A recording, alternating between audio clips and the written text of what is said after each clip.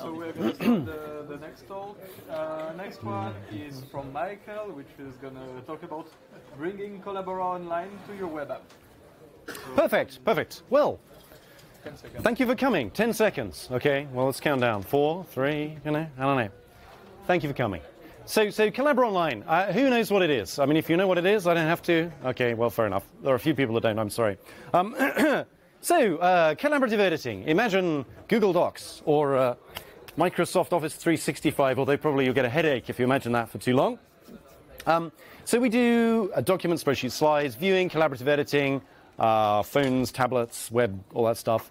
Um, brilliant interoperability. We are the Microsoft file format lovers. You know, look at us. We, we, we have to interoperate with all this wonderful legacy stuff. RTF, the legacy of the last standards war. You know, you may think ODF is a standards war, you know, but, RTF is the previous standards war, and it still lives on in many governments, amazingly. Um, PDF, Visio, all sorts of other filters uh, in there uh, are possible. And it does WYSIWYG rendering. Um, that's quite important because uh, other people don't necessarily. Like Office, uh, Word Online doesn't do WYSIWYG anymore. It's back to the Word 5 era of not being able to see how your document lays out. And I guess the key, oh, uh, the key thing is that I should get my display to actually uh, project the slides properly so that you can actually see them all. Uh, that, that's probably the, uh, uh, the key deliverable at this stage. Uh, what is that? Is that 1, 1280 by 800? Okay, perfect. Better, I think. hmm Yes, and so it should integrate on premise with your, your existing EFSS. So, so if you just drop it into one of these things, it should work nicely. If you're a learning type person, Moodle or something like this, Mattermost, um, if it doesn't do it uh, yet, then, well, you can come to my talk and I'll show you how. Um, so the architecture is really a bet on CPU threads and network getting cheaper. We run a chunk of this stuff on the server. Uh, and so to install that, you then just uh, uh, grab a code image. You've got packages, you've got Docker images uh, for, for every conceivable Linux distribution, of course, source code. And uh, yeah, so you, um, yeah, you plug it in and uh, connect it yourself and, and fiddle with your, your web app. Sometimes uh, people, people like to just convert documents. So if you want to thumbnail documents or, or convert documents from, you know, uh, flat ODS to PDF for invoicing, uh, we can do that very easily as well. So there's a nice REST API there. Yeah. So yeah, but but the, the integration is really just an iframe. You, you can uh, you can check it out and run it, of course, uh, like that. Um, but but getting data into it. So so this this kind of um, this kind of thing, uh, this kind of thing. Okay. So so the demo stuff that we give you basically loads files off your file system, which is mostly what you don't want to do. You want to be able to serve through this nice API. So in terms of understanding this, um, this is a very simple piece of software. We require only libc, and that's pretty much it of a Linux system. We have no dependencies once you include, you know, draw a box around the whole bundle. Um, so we don't need a database. We don't really need the file system very much at all. And, uh, but we do need to get data. So how do we do that? Well, we store that in, say, Nextcloud or OwnCloud. And we do that through a REST interface, which combines authentication and storage. So we don't do any authentication. I know nothing about SAML. Uh, and I'm very happy about that.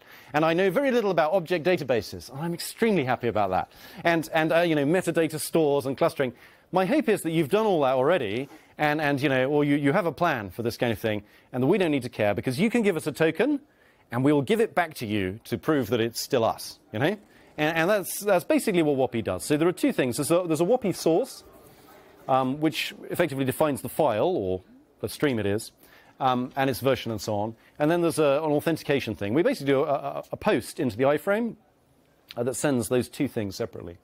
Um, and then what? Okay, so, so we want to get a file. We call a get on your storage. We do a web get. It's that hard. Okay, and we pass these credentials back, and you decide. Um, and to save, we do a post. Again, tricky stuff.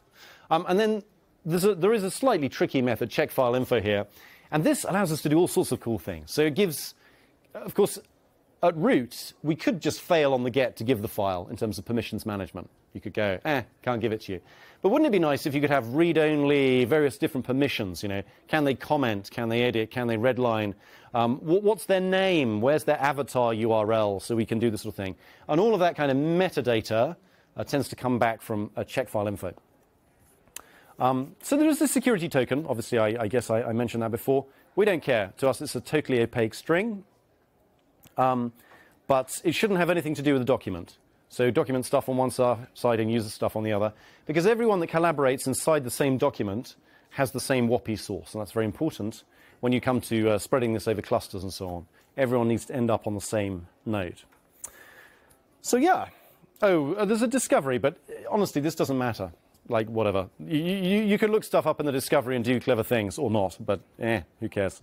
Um, you can just do it directly if you like, hard code it. You know, at least at least for a prototype. Um, so yeah, the check file info endpoint. Yep, and then you can just get a hello world very easily. You have a simple an HTML document that looks well a bit like this. It's not very big, uh, as you can see, and there's a form action here, and it's got this, uh, you know, all these details that go across, and uh, bingo, uh, there you are. Um, yeah, I think that's pretty much pretty much the works. Now, of course, once you've got it embedded and it's looking beautiful as it does, um, you then might want to uh, to play around with it. Unfortunately, I didn't have time to test my live demo earlier, so it may probably well not work. Um, so I might skip that for reasons of time. Um, but uh, essentially, you can post messages inside and outside and across the frames uh, to do all sorts of um, exciting things. There's a little demo here uh, that you can grab out of the source and uh, configure as, as instructed. Uh, so actually, we, we, configure it to do cross-site scripting checking by default. So you have to add localhost into the, uh, the configuration so it can trust itself to do what it does in the demo, which is that slightly inelegant thing. Um, and then, yeah, then you can play with it. So you can, you know, hide your menu bars if you don't want menu bars, and you can fiddle around with stuff. You can even inject arbitrary um, calls to scripts in here. So you can send a Python script that runs in the back end, and you can generate a form or a report or do database queries at the site. You know, there's all sorts of things you can do with the embedded Python there um, if you want, and, and drive that from the UI. And so some people, uh, we have a customer that uses this for uh, doing like I want this area of a spreadsheet. I want to select a spreadsheet and I want to dump this somewhere else. I want to dynamically move data into uh, these things and automate them. Um, so that's that's all stuff that you can um, you can do. And we have a vast scripting API. Obviously, it's like a thousand um, a thousand interfaces with God knows how many methods uh, that you can use use from that. Um, yeah. So you can also add your own toolbar uh, buttons and things. People like custom buttons. Did I mention you can theme it and skin it and CSS it to the nth, obviously? Um, yeah. Um, so, yes, it's obviously worth uh, waiting till the JavaScript is loaded. I think one of the, the great benefits of uh, JavaScript is not knowing what order your JavaScript files are uh, loaded in, and then what they're going to do when they load in a different order, and not being able really to test that either. So, you know, JavaScript is just the most wonderful mess in the world when it comes to programming anything. Um, it's just a living hell. I don't know, you know, like, I mean, I really, it was just, know, words fail me, uh, you know, piling up all this stuff. And then the good news is that they create these tools that make it very easy to upgrade bits of the middle of it, where upgrade means break all of the invariants I coded uh, up above, so obscure things no longer work. But anyway, um, I digress. Either way, wait till the JavaScript's loaded before sending your post message. Otherwise, you, uh, yeah, you, you, might have a bad experience. So don't do that. Um, Good. So I mentioned the check file info thing. There's a whole load of things that here, like so. So one of the things we have is a thing called secure view. I forget if I got a slide about it, but the idea is that the, don't let the document leave your site. You know, you have employees in in, in wherever they are, uh, North Korea, because you employ North Koreans. It's great, great move. And um, yeah, you don't want to send them the whole document. You just want to show show them it, and you want to you know watermark it so that you can be sure it's them. And if they take pictures of the screen, you know, it's got their name all over it. This kind of thing. Um, so you can turn off printing, downloading, saving, copy paste, all, of this stuff, because that all happens server side.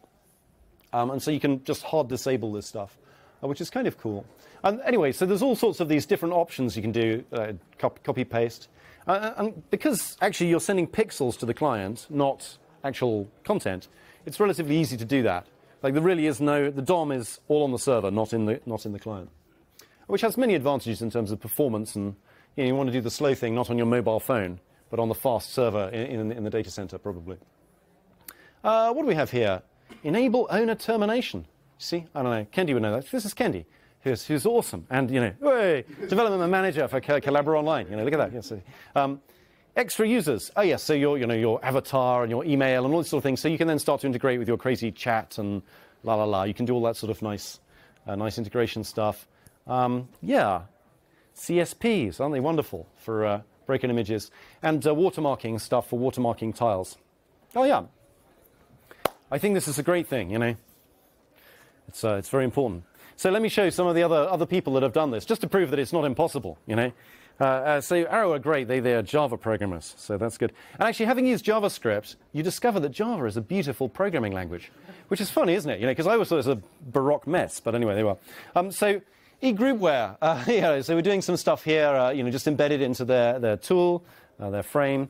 Um, Kolab, who uh, a company that's in Switzerland that do a secure on-site, on-premise hosted stuff. And Nextcloud, obviously, you just heard Jos's talk, a beautiful integration there uh, with all sorts of things, avatars and templates and all sorts of, uh, all sorts of nice features, sharing built in and so on. OwnCloud, similarly, an, another PHP app. Um, Pydio as, again, a PHP, but another integration there. Aruv, some random other uh, you know, company producing stuff doing this. A Mattermost for your education, uh, educational needs, uh, chatting needs, rather. Um, this is not a very pretty integration. I need to talk to Corey when I see him, uh, if I see him, uh, to try and fix that. And uh, we love to help people do that. So, um, you know, when you're struggling and it doesn't work, it, it, might not be you, you know. So, so come, and, come and grab me or, or someone else, and we can help you get this integrated. And then, you know, there's all sorts of commercial stuff around there that we can uh, talk about. I think this economically sustainable open source engagement, let's say. Um, what else? So Collabora Online 4.2. So, so this is sort of shipping in code now, but these are basically new features we've added in the last uh, six, nine, nine months, something like that. Uh, so what do we see here? Well, um, so we got the sidebars now in Impress. So this is uh, being tunneled through from effectively the PC application. And we're moving these to use some native uh, widgets, I think, probably in the next year or so. Um, but hey, it works really nicely for now. So you have really quite rich functionality there, all of these different panels. You can be fiddling with the shadow of your text box and so on. It's just a huge a wealth of functionality there. Um, animations. I don't think anyone else has uh, configurable animations in their online office suite at the moment. Um, you know, and all of the all of the key stuff that you want then around presentations, uh, so that you can you can actually make a presentation. Master pages, master page editing. Google Docs doesn't do it. Microsoft Office doesn't do it. Uh, none of our competition does. You know, so it's just. But again, bringing that richness of the functionality from the Office suite through to the uh, to the browser. And our hope, of course, is here that we, we end up with a full function Office suite in, in the browser that's easy to deploy centrally. And it's not just then selling OwnCloud to someone, it's, it's also getting rid of that legacy PC installed nastiness as well. So you can start to actually, you know, in good conscience, move to a fully web delivered, extremely secure, on premise hosted, uh, digitally sovereign uh, solution, uh, which is nice. Uh, what else? A nice new chart editing sidebar, so you can click on your charts and get different, different types of charts. Uh, conditional format. So often people have these drop downs and they, they claim conditional formatting is done. You know, pick one and be happy. Um, but of course, conditional formatting is insanely complicated. And, you know, wouldn't it be nice if you could uh, fix it so it looked like you want it? Um, function wizards. So you can remember what the 17th parameter to that really bad method does. Um, and so on. Uh, color correction of images, uh, nice UI handles for sizing tables and selecting them, improved spreadsheet stuff for autofills. Uh, wouldn't it be nice if you write January, February, and you fill it down, it goes March, April, May instead of January, February, January, February, you know, that, that kind of thing.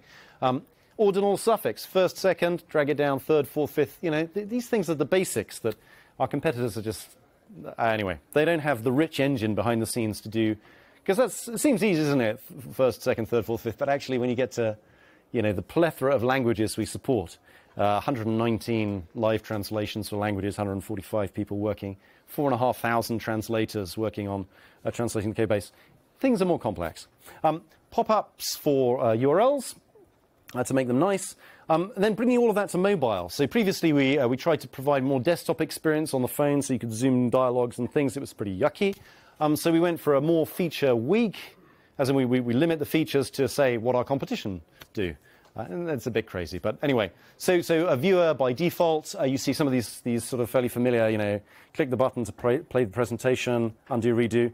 This is all there, all open source. It's in the App Store, Collabora, Office Mobile Beta. You can install it and play with it. Um, and then, you know, this kind of one-handed, you know, big chunky stuff, scrollable. But these are actually the sidebars, um, but wrapped and redone with uh, native uh, HTML widgets with CSS uh, and, you know, nice ergonomics, hopefully.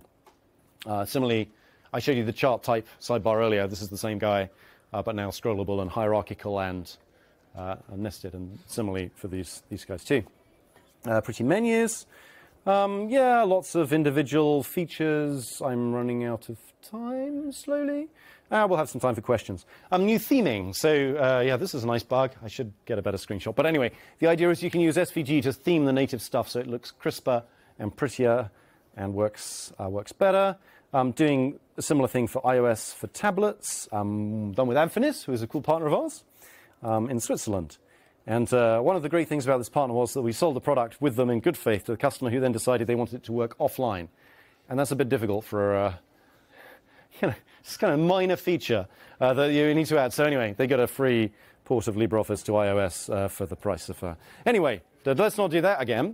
Um, but there you go. You got you, know, you got to please the customer, haven't you? At the end of the day. Um, so uh, we do all sorts of cool monitoring. So Prometheus text-based polling stuff. I don't know why people like to poll. I think it sucks, but polling is is cool. Um, I prefer the WebSocket thing we implemented first, so you can get live data coming at you about documents opened, who's done it, and whatever from your cluster. So the cluster will connect out to your monitoring server, give you a WebSocket, and let you control it. Um, lots of other stuff. Much richer copy and paste things, new dialogues. Uh, yeah, lots of anonymized logging. So you add all this nice logging so you can work out what's going on, and then you encrypt it all so you can't anymore uh, with uh, GDPR compliance, they call this. Um, obviously, you have third-party penetration testing to make sure it's all you know safe and good. Uh, better performance, PDF rendering, simpler code, fewer threads. Um, yeah. Ah. So, digital sovereignty. Don't let your documents out of your site. H- highly secure. Lock it up on your premise, right? Stick your document in its own CH root with almost no file system, nothing executable in there, seccomp BPF filtering all the system calls around it. Um, underneath that, you know, load crash testing. In, you know, we've got a better Coverity score than the Linux kernel, 0.00. Questionable if that's useful. Um, LibreOffice kit. So, so, basically, what about this giant thing? Is it, is, is it secure? We have never had a security issue uh, in, inside these documents that could, could have broken out like that. So it's, it's pretty, kind, pretty cool, uh, and you can really be uh, confident in that. Here's a picture of Secure View. I don't know if you can see the watermark in the background here, uh, but yeah, the, the, contrast is not ideal, but you can see it here. Of course, we try and work on all, all kinds of background. And this is a really simple, elegant model uh, against Microsoft's. Microsoft's model for DRM and, and, sharing documents is that they sign everything. They sign your, you know, the TPM, their key ships in your BIOS, they sign your bootloader, they sign your operating system, they sign your Office suite, and then they'll give you the document, uh, the key for your document from their Azure cloud, so you can unlock your document and be able to read it, because they're now convinced that your whole stack from the hardware up is actually safe. I don't think that's a great model in terms of digital sovereignty. I think having a single American company hold all the keys for your documents and sign everything is, is just not very elegant, let's say. It's not very simple. It can't be federated, and it has this massive central point of failure. And we can do better in a simple way that's federated, that you own, that you control, you can decide who you trust, who you collaborate with, and who you give what permissions to. And we think that's extremely elegant. Our, our competition, incidentally, uh, to do some of these things, uh, but it's all enforced in JavaScript on the client. Uh, so hard to circumvent by pressing F12, obviously. Um, yeah, highly scalable, very simple architecture, no database, no separate message bus, no shared data storage. Scalability, one on one are using it for millions of users, literally. Um, yeah, composable operations suck. If you want to know more, talk to me about it. 45,000 uh, users. Well, actually, don't talk to me about it. Just consider sorting a spreadsheet and changing a cell and trying to work out what the implications of changing this cell are by walking the entire dependency graph that could be vast to see if this cell change affects anything that might impact the sort. And now try composing these operations across each other. Okay? And when you've sorted that out, you can come and tell me how great operational transforms are. Um, good. So we just do everything live as it happens. And that turns out to be simple, slick, bulletproof, and not have any, oh, I can't synchronize across my cluster properly. Um, so in terms of CPU usage, this is pretty simple. 45,000 users using it there. Uh, spikes of about 6K users online uh, occasionally. Uh, it runs on the spare hardware left over at the side of the massive Nextcloud cluster. So, like the balance of hardware that's spent versus the database metadata storage is trivial. Uh, do it do it in the data center, not on your mobile, if it's complicated. Um, and that's it. So, our mission is to make open source rock. And hopefully, we're doing it. We'd love to work with you to integrate with your EFSS. So thank you. You've been very good. I think we have about half a minute for questions, do we? Is that right? No? Five? We have five minutes for questions. Ah, I'm very happy. That's good. I could have gone more slowly. Let me tell you more conclusions in a minute. Sir, your question. Uh, you mentioned you mentioned that you can uh, style the, the whole layout yourself Sure. using CSS. Um, is that true? I see you doubting right now because if, since everything is rendered on the server side, how are you going Yeah, yeah. to Yeah, yeah. You know, fix that? Yes. So, so obviously you don't want to style your document, the bit inside the frame. Well, maybe you do, but you should use the Office suite to do that. So rendering that on the server is not a problem. In terms of uh, theming the widgets, there's, there's SVG for doing the icons that you can fiddle around with. Um, that's fine. It's a subset of SVG because we don't really want the animated JavaScripted stuff running on the server there, obviously. And so it's a, a very restricted subset. So I, I'm, you can't CSS everything, is the answer. But on the mobile, it's much more. Kenny, Kenny, give a good answer, Kenny. Yeah. An additional answer to that, there's uh, exactly a presentation about this, uh, like in in a room that is uh, open dev room, uh, op- Open document and editors dev room. dev room. Yep. Uh, that uh, exactly tells you how. Okay. So yes, if you want to go to that, Pedro, who is our, our designer, will show you how to do the whole works. And if not, read his slides afterwards. Um, so yes, so there's a lot you can do, um, and there are there are some limits too, particularly around the legacy dialogues. I think in a year, as we start to move those to being more uh, client-side rendered HTML dialogues, then knock yourself out. Let's let's do every bad idea of blink tags and you know whatever else, and then just pile it in. You know, the, uh, but yeah, yeah, it's it's easy easy to do. Good question. Another question, sir. We are integrating um, Labora with Nextcloud. Sure. We're still having some issues and also with some Mhm. What's the best way to include even if are a paid customer? Oh, a paid customer is very easy. You just mail it to support at collaboraoffice.com. Oh, yes. How, how, how do I file report uh, bugs? So if you just mail us, it effectively creates a ticket as you do that. And we track that ticket. And you also support uh, the integration with the Nextcloud? Yes, to a, to a degree. Yeah, so that's kind of split between us and Nextcloud. if you're having problems with that, poke, poke me. Um, just, just email me or mails. Uh, yeah, just mail me. It's probably best. And uh, then we'll, uh, we'll sort it out. But yes, yes. They move, it, Nextcloud moves at a great pace and innovates quickly, let's say. So I think there's, uh, yeah, there's, there's you know, things we can, um, there's things we can fix there. But yeah, do love to. Uh, yeah, you, I'll give you a card in a second. Other questions, sir? A little bit building on this question. Shoot. Uh, for example, I don't know where it's going on, but I just want to verify whether Collabora is working correctly. And I have Mhm. outside Collabora has. Would I go test about if Collabora thinking working fine? There's some easy method to just generate those. Sure. So, so, so, so, so, so, is it working fine? You want to do monitoring, essentially? I just step by step like start the source. Is working fine? Yes. Yep. Then I'll go on. So when you do a make run like this, um, it gives you these these wonderful things here. And so if you just uh, launch the link, then you have you know um, an Office suite, you know. And uh, if you uh, uh, have a new window, you can do this, and you can see you know collaborative editing or you know whatever it is you like, right? So so that works reasonably. And of course, there's an admin console. So if you, as I say, if you like the whole here's a whole load of quite boring variables thing, you can do that. Or you can go to the uh, the live admin console that'll tell you there's you know this many documents open and who's who's doing it and okay. So this integration is not cool for the files, um, and, and the users are online and so on. Yeah, so for example, I didn't set up my my my, my web uh, stuff correctly. Okay. Command line, then I could use uh, that command and just get parameters. Uh, potentially. Um, the problem with this command, of course, is for a development edition. We're not really eager for people to be able to load things off the file system normally. Um, so that's kind of disabled in, in builds. But you can go to the admin console. If you're a glutton for punishment, and I am, um, uh, so if you give a user one kill, which is a great, great API, uh, then it essentially dumps its entire internal state, all of its sockets, all of the file descriptors, who they go to, uh, what's in the tile cache, you know, when it last saved, uh, all the permissions about it, and that's quite nice. Um, for various reasons, this is used to debug complex threading situations, and in consequence, it takes almost no locks. Um, almost all the time, that's absolutely fine. And it's extremely useful when someone's deadlocked in a thread. However, it may crash your server. So I, I, it doesn't crash mine, at least very often.